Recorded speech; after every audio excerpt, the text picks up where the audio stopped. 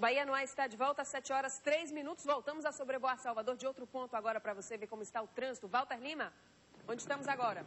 7 horas e 3 minutos. Jéssica, nós estamos mostrando como está o trânsito aqui na saída dessa que é um.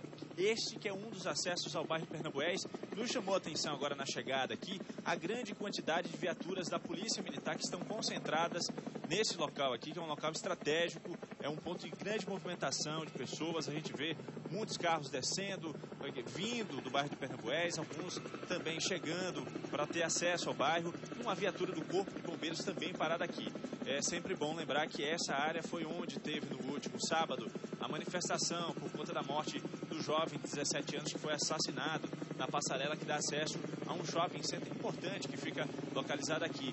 Portanto, é, aqui foi um local de concentração dos manifestantes. De repente, existe a iminência, o rumor de que talvez uma nova mobilização seja feita pelos moradores do bairro de Pernambués, que estão revoltados com a morte desse jovem, mas a gente mostra aqui como está o trânsito nesse momento, apesar dessa imagem, é, no mínimo, intrigante, com quatro viaturas da Polícia Militar, todas pertencem pelo visual aqui, pelo que a gente tem aqui do visual dentro do helicóptero, de que são viaturas que fazem a parte da Companhia Independente de Polícia Militar, que corresponde à área de Pernambués, e temos mais embaixo, a gente vai mostrar aqui também, uma viatura do Corpo de Bombeiros parada nesse momento. Com isso, a gente vai mostrar como é que está o trânsito nessa pista marginal, que é quem tem acesso ao bairro de Pernambués ou quem sai para pegar a região da rodoviária. O trânsito acaba ficando um pouco complicado porque os motoristas de ônibus acabam tendo que desviar do caminhão do Corpo de Bombeiros. Portanto, o trânsito nesse trecho aqui é o início da Avenida Paralela, que a gente está mostrando para você, a pista marginal com lentidão, mas as duas principais avenidas, por enquanto, as 7 e 5,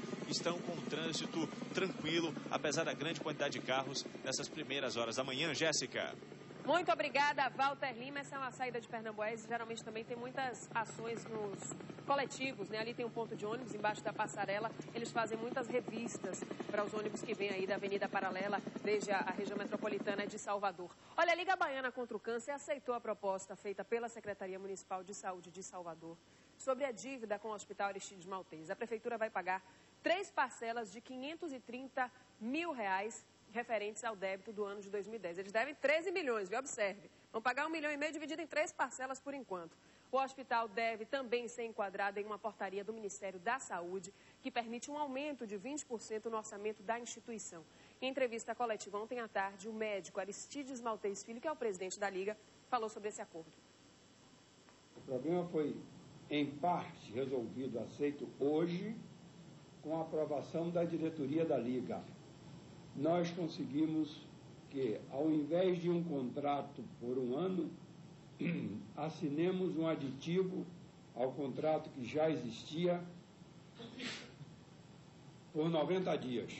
A posição do Ministério Público, através do, como eu já frisei, do procurador Rogério Queiroz, foi firme, objetiva, que esse aditivo terá que ser assinado definindo os dias de pagamento, porque nós já estamos sem receber dinheiro desde janeiro, e no dia 20 de março será feita uma segunda reunião no próprio Ministério Público para ver a posição do Ministério da Saúde no que tange a melhoria do aporte de recursos para a instituição, para que então possa se corrigir este convênio a partir de 1 de abril sendo assinado um contrato, então, aí até o final do ano. Então, vamos aguardar, né? Tragédia no interior do estado. Olha só essa história. Uma menina de 8 anos foi encontrada morta dentro de um tanque, no quintal da casa de uma vizinha. Essa menina, Júlia Rodrigues de Souza, ela é filha de um vereador da cidade de Lapão. Ela estava desaparecida desde a última sexta-feira. A família chegou a divulgar fotos, pedindo informações sobre ela. Só ontem o corpo foi encontrado. A dona do terreno onde a polícia localizou o corpo de Júlia foi presa. Maria de Fátima Santos, de 48 anos, negou o crime, mas a polícia suspeita do envolvimento dela no caso. Inclusive, revoltados, os moradores queimaram a casa da acusada, que foi transferida para a delegacia de um município vizinho. E olha, uma denúncia grave contra o Hospital Sagrada Família em Salvador. Uma gestante acusa a unidade de negligência, essa unidade de, de, de fazer negligência né, durante o trabalho de parto. É uma outra história triste que a gente vai contar para você. Olha só, imagina que é uma mãe passar nove meses esperando a chegada de um filho e a criança morrer, como foi esse caso. A família acha que foi a demora no atendimento que provocou a morte do bebê. André e Eliane não imaginavam que deixariam o hospital sem a filha nos braços. O primeiro bebê do casal nasceu morto na última sexta-feira. Eliane deu entrada no Hospital Sagrada Família, em Salvador, ainda na madrugada. Segundo ela, o médico que prestou atendimento teria verificado os batimentos cardíacos do bebê e solicitado um ultrassom em outra unidade hospitalar. Lá, ela recebeu a notícia de outro médico que não era possível escutar o coração do bebê. Eliane retornou ao primeiro hospital e teve que esperar até o dia seguinte para fazer uma cesariana e retirar o feto morto. Em casa, os objetos da menina, que seria chamada de Andressa, são agora a única lembrança para a família. É, gente, que coisa triste. Agora prepare o coração, viu? Porque os pais do bebê conversaram com nossa equipe. Lembraram né, um pouco desse drama, contaram o drama que eles viveram no momento que deveria ser o dia mais feliz da vida do casal. Para mim está sendo uma tristeza. Eu cheguei em casa, Passei esses nove meses estando com minha filha dentro da barriga e chegar sem ela é horrível. Me está sendo um sofrimento tremendo e não, não vai ter volta para mim, que eu sei que ninguém vai me dar minha filha de volta. Eu não imaginava voltar do hospital sem ela, né? Nunca. Nunca imaginava o quê? Ter minha filha nos meus braços e tudo correr bem.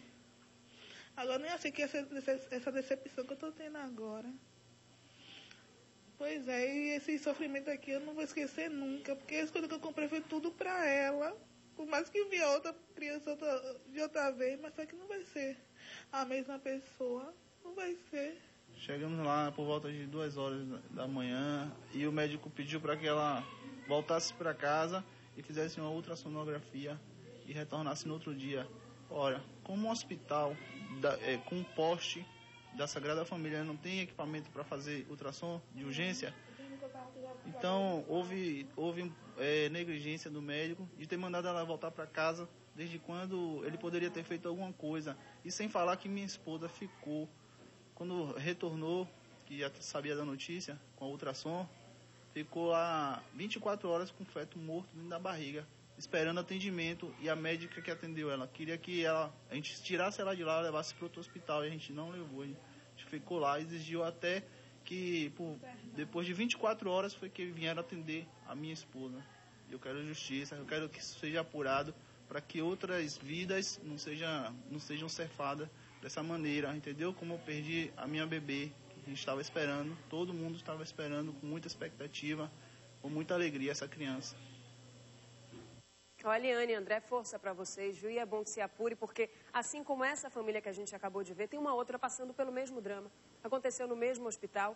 Nérica Santos saiu da ilha de Taparica, veio para Salvador com o marido, a mãe e o filhinho de dois anos.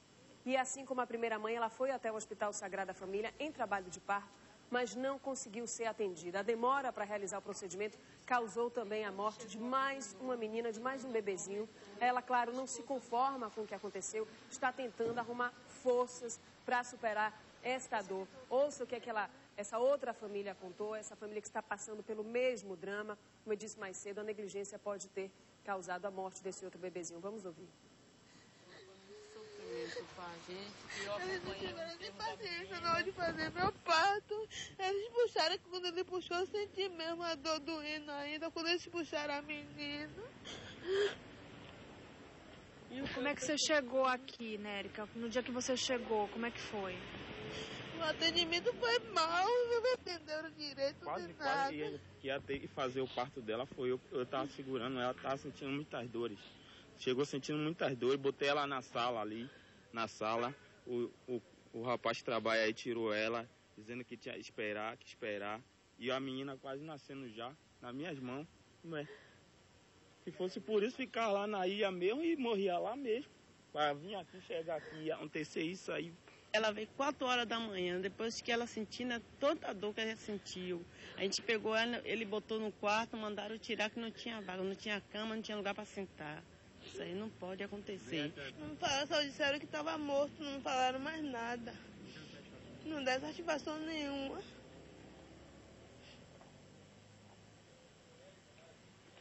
Não imaginava que ia embora daqui sem seu bebê no braço, né? Não. Eu pensei que eu ia embora com minha filha no meu braço.